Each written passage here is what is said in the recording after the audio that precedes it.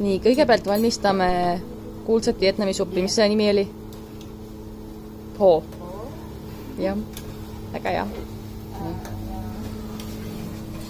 siin on juba puljong on keedetud ette, siis puljongi sisse panime sibulat ja äh, nüüd äh, liha, loomaliha mm -hmm. ja siis nuudlid ja asjad on juba valmis tehtud meile ja siin on äh, idud on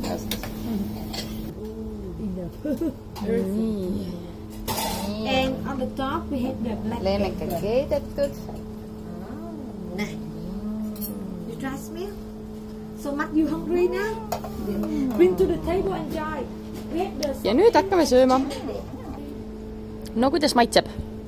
väga hea supp on äh,. väga hea. et kuigi ma ei ütleks, et ma hakkan siin nüüd, ma ei tea, hundirattaid viskama.